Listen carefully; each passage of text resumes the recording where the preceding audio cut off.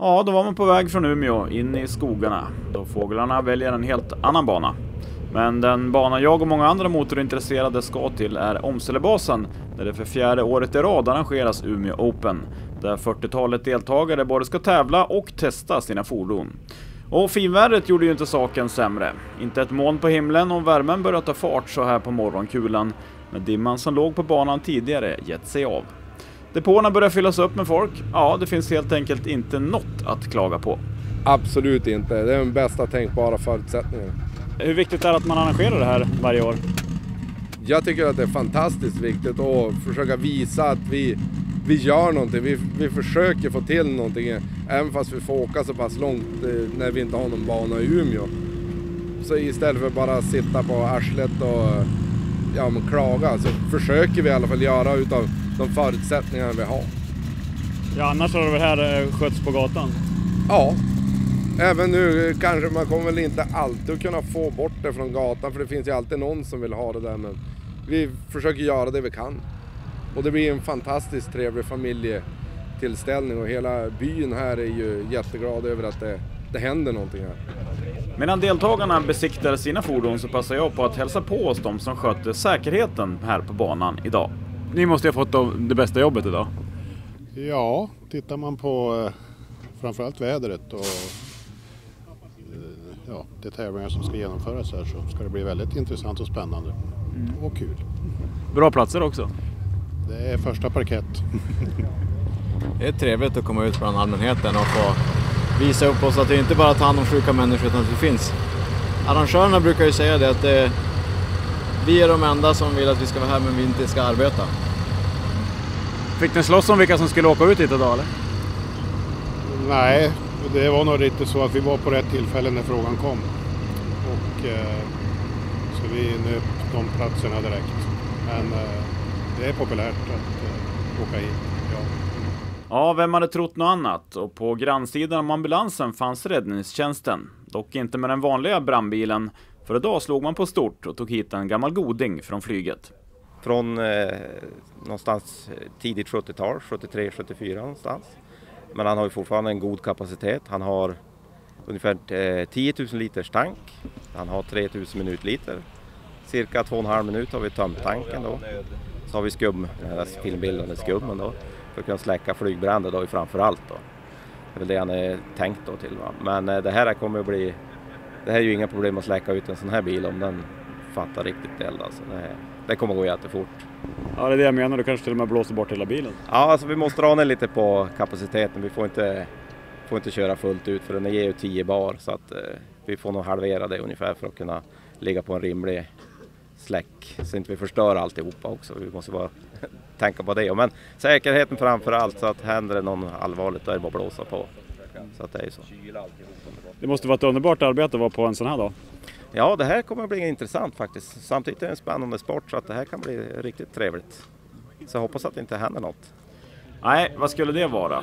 I Umeå Open så ingår också det så kallade Test and Tune där deltagarna utom tävlan får passa på att testa och köra sina fordon hur mycket de vill.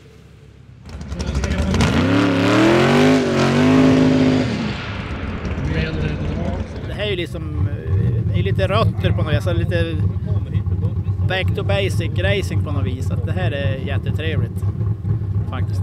Jag har aldrig kört bil förut så det är väl dags att testa nu då. Är det sista rycket här innan eh, vintersäsongen?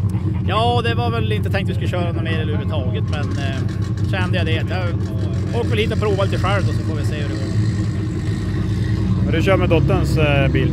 Ja, det är hennes bil jag kör med nu. Alldeles riktigt. Vad vill du få ut av dagen då? Jag vet inte. Det är bara trevligt med folk och umgås lite grann och åka lite, åka på svängar och känna hur det känns.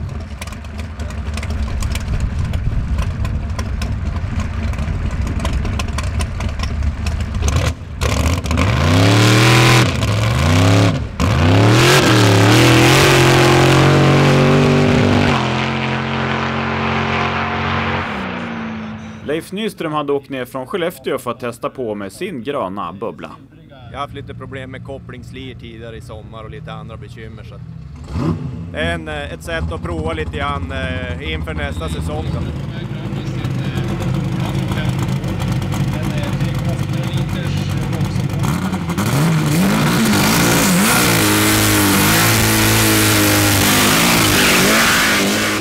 Det är byggt på ett kromollyrörschassi från början eh, och en 52as eh, typ 1 kaross. Då. Eh, jag kör Super Comp, vilket är index på 890 då på kvartsmilen. Motorn är en 3,4 liters folkvagn slash amerikanska eftermarknadsdelar, överladdning och metanol, insprutning. Det blir bra tryck i en sån här liten kupé ändå eller? Ja, de är ju väldigt de är ju ganska korta folkvagnarna här så att det, jag jobbar ganska mycket med att försöka få en körbar. Alltså när det, den gamla bilen åkte jag 260 med över mål och, och det var ganska eh, ostabilt många gånger. Den här har jag bara kört 230 med hittills, eller 240.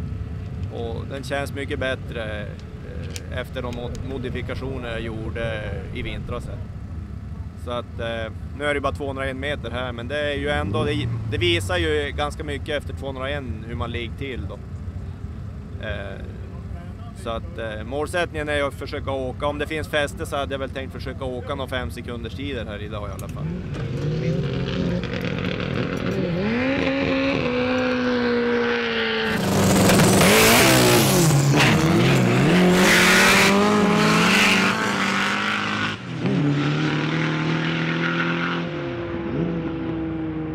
du är från Skellefteå men bilen från Piteå, hur kommer det sig? Ja, hur kommer det sig? De hittade ingen som var nog modig, kallar vi det. Eller dum att köra den där uppe. Vad är det du kör då? Jag kör en 41 Willys Coupé som går i Pro Street. Hur fort kör man då? Eh, 760 är indexet. Och just under 300, 280 till 300 knyck.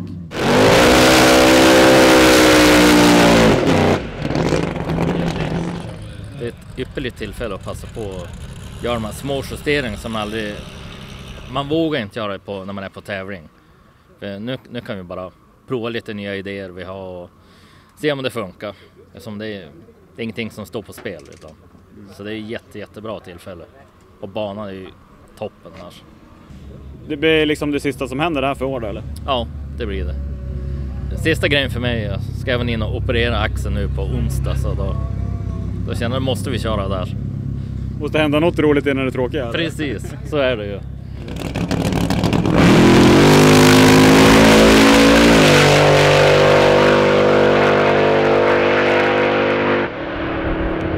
Ja, 5.23.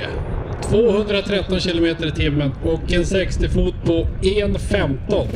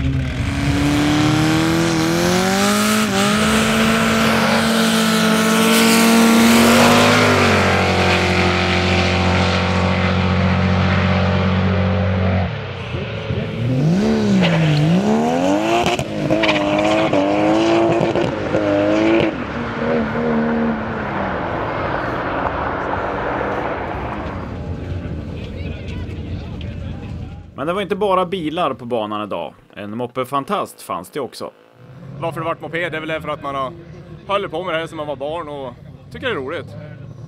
Min bästa vän han hade en KS50 som man kunde trimma något djävulskt. Är det samma med din CS50? Ja, det finns ju nästan inga begränsningar nästan. Det är fantasin som sätter stopp då. Så att eh, i dagsläget så kör vi en motorcykelcylinder då, en eh, Yamaha YZ som är modifierad dit för att få honom att passa på syndapmotorn. Hur fort har du kört med honom då? Eh, 961 113 är snabbaste tiden.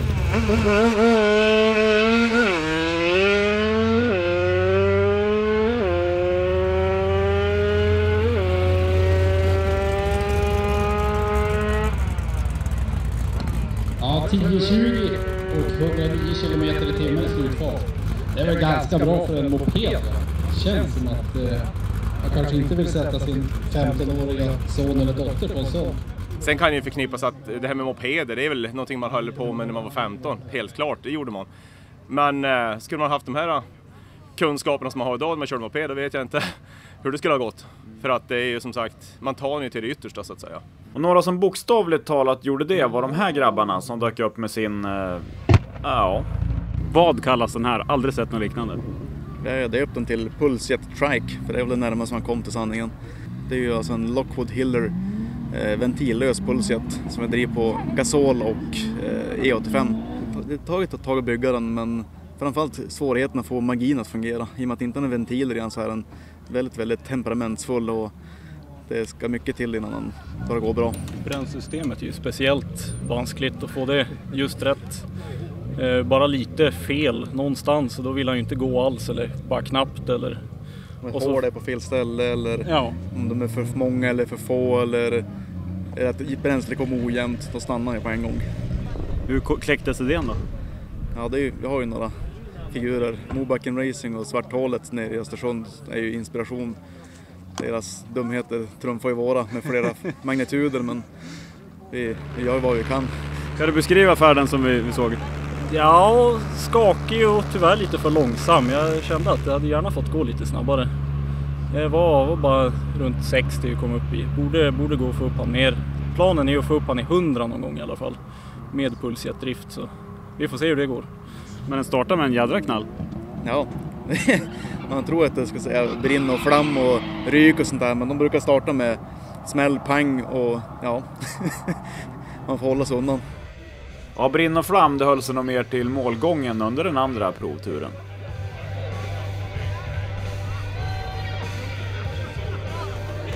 Förutom Roland Westerlunds blåa Amazon som kom ner från Piteå så var Magnus Boström från Hörnefors en av de tre Amazonförarna på plats.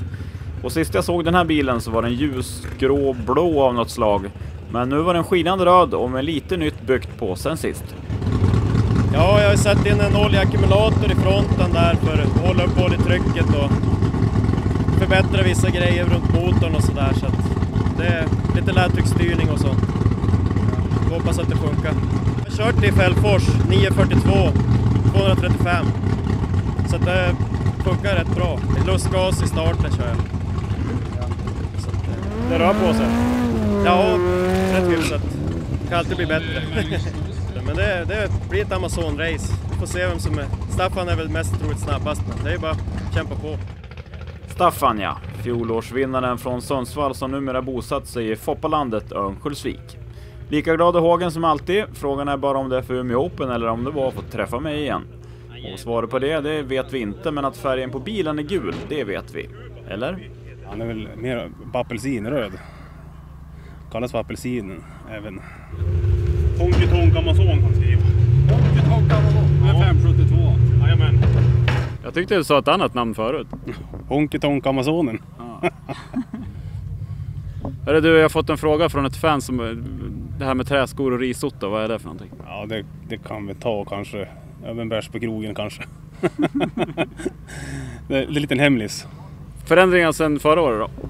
Eh, Annat lustgassystem, eh, nya däck, lite tuning så har det väl gett en hel del. Du körde 5.23 nu och du vann på 5.57 förra året. Ja, det stämmer bra det. Och det, är, det är tuningen som har gjort det he- hela vägen. Framförallt däcken då. Hur kommer det sig från början att du valde just en Amazon att bygga på? Ja, det var en kompis i Sundsvall som hade lagt beslag på den här bilen och jag har gått och sneglat på den i ja, fem år ungefär och han har inte velat sålt den. Till slut så mjuknade han och då, då var det rätt allting. Sen har jag väl utvecklat bilen vidare då och haft allt klart sen första gången jag såg honom att den där bilen kan man göra si och så med och nu är jag där. Det jag tänkte från början. Går den att göra så mycket snabbare än vad du har gjort? Du har ju förbättrat avsevärt sen, sen förra året. Oh, nu går det att få en lite snabbare såklart, det, det gör det ju. Med lite mer godis i bottendelen och, och så vidare så går det väl att spraya i en lite extra gas. Känslan när du trycker på då? De sista tubarna där. Ja, det är som, jag vet inte, flyga till månen kanske. Man sitter som en pannkaka i, i stolen och bara njuter vet du.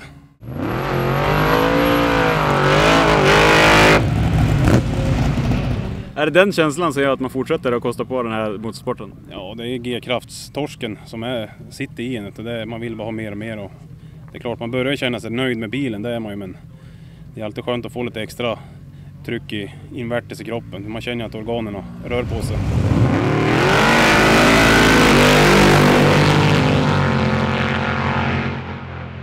Du satsar på att vinna år förstås? Ja, det är klart man vill vinna. Det är hård konkurrens och sådär och då är det ju extra spännande. Men eh, ja, man är väl inte snabbast idag, men hack i häl i alla fall. Allt kan ju hända.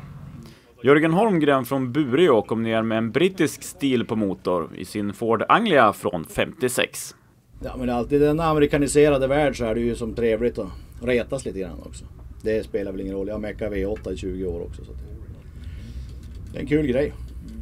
Det passar ju. Satsar du på pris då eller kör du bara för kul skull? Man vill ju alltid vinna men eh, det är stora pojkar här med breda hängslen så det, det kan gå hur som helst. Man har ju 50% chans där framme. Så det, det är kul. Blir du sur om du förlorar? Nej, nej, nej, nej. Det får man inte vara. Tjurig kan man bli i fem minuter men sen är det bra. Vi är ju alla vänner här så tills det, tills det är krig där framme. Ja, sen var det så dags för krig som körs i två olika klasser. Eh, vi har i 10,5 då är det då begränsningen 10,5 tums slitbaneyta. Och outlaw då är det helt fritt däcksbredd. Då kör vi. Nu kör vi!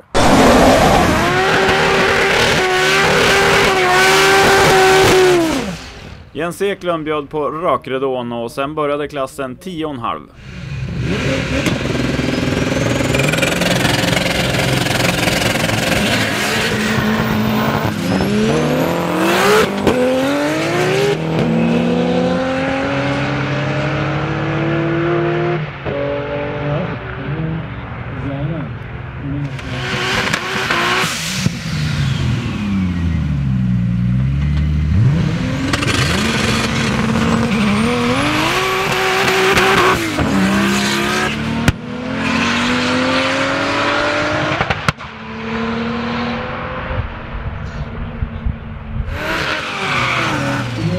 Har vi banan lossargatorna med isinne bakom det. Ja,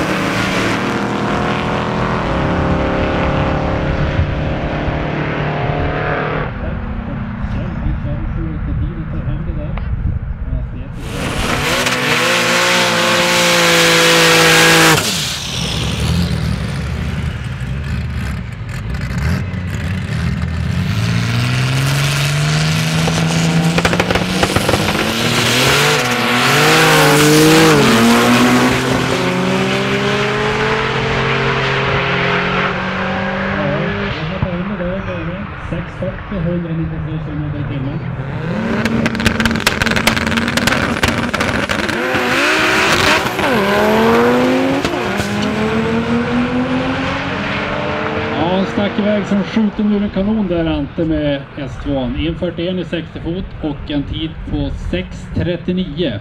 180 km i timmen, så han vinner den redan.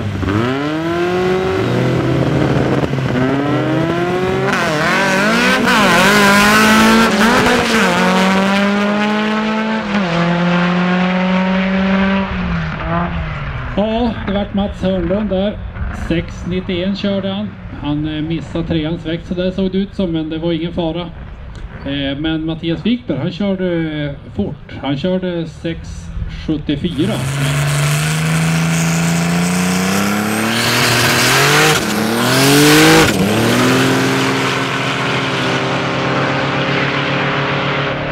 Ja, det är Hedman som tar hem det där. Han kör 6.16. Han har lite problem med starten. Han får ta om där. Han har en 60 fot på 1.50. Eh,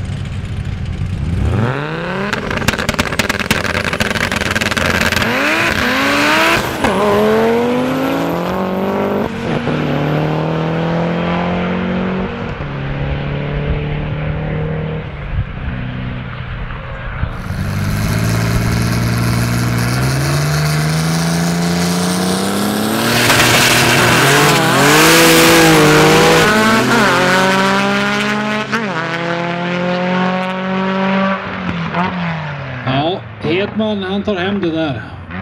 Han kör eh, 6.27 mot eh, Mats Hörnlunds 6.90.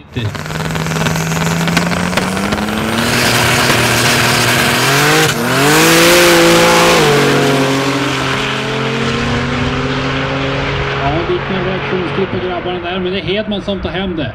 6.31, 195 km timme mot Ante Fjällström 6.64. Vinnare till halvklassen. Som jag fattar så är det inte första vinsten i år heller. Nej, andra. Kubbe vann vi också till en halvklass. Var det allt som stämde då eller var det lite tur också? Det var nog lite tur. Han buggat ju lite S2 där i start. Så att, men vi har kört jämna tider hela, hela dagen.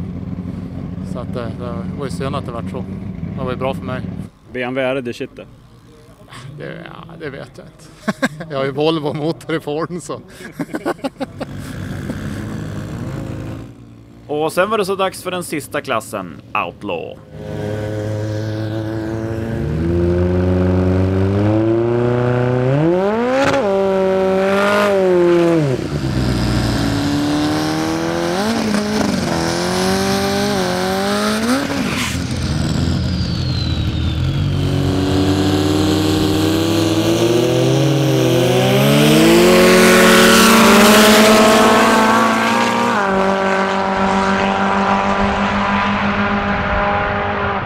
Ja, en ruskig reaktionstid där på Jens Gustafsson.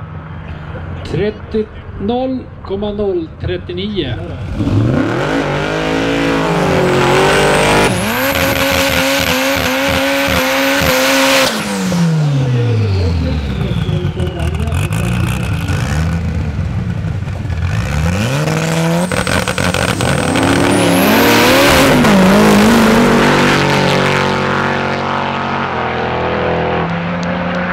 Ja, 5.55 Staffan Gärdegran vidare med en slutfart på 203 km i timmen.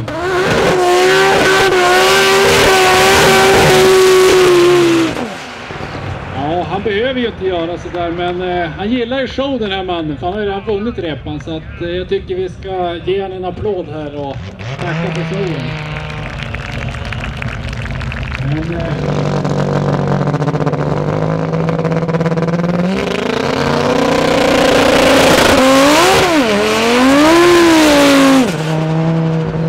Ja, det vart en liten extra burnout där i starten. Så att... Eh, Monza med en eh, 632 kubiktums... Eh,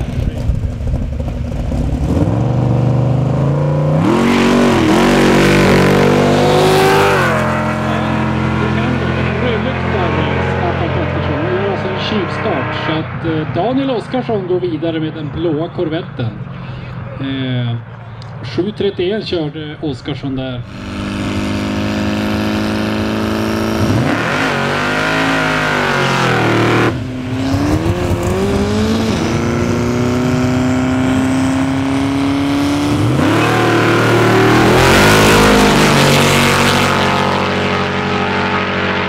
Och allt händer. Staffan Rödlyktar. Han eh, var för ivrig iväg. Så att eh, Jens Gustafsson i skeva vägan med Volvo B18-motor vidare till final i Outlaw-klassen.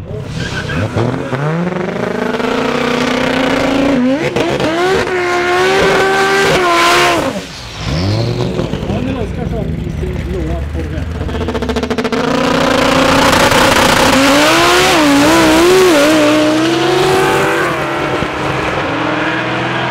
Ja, ingen rödlykta där och Jens Eklund har tagit sig vidare på en tid på 5.10, 216 km i timmen. Den snabbaste sluthastigheten men inte snabbaste tiden.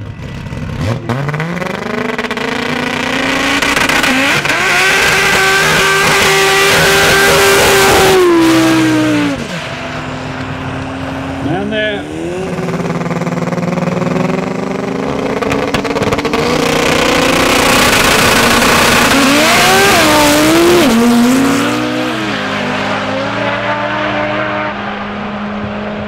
Ja, Jens Eklund vinner på tiden 5.14, 216 kilometer i timmen. En stor applåd för Jens Eklund som tar hem autoklassen.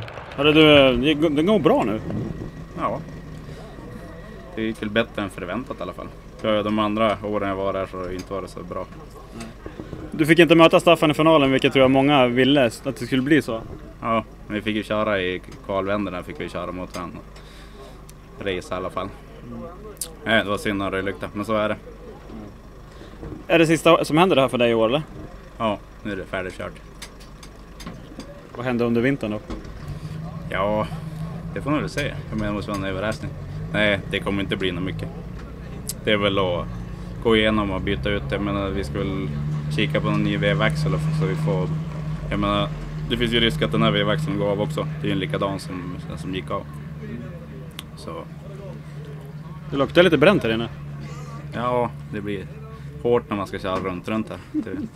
Grejen är inte riktigt gjort för det här. Men jag har ju visat att det går. Alla andra säger att det inte går att köra med Liberty-låda och köra runt, runt. Men jag har ju bevisat det tydligen i alla fall. Det blir någon extra grogg ikväll då kanske? Ja, kan, kanske det. Får vi ta oss hem någon gång. Grattis!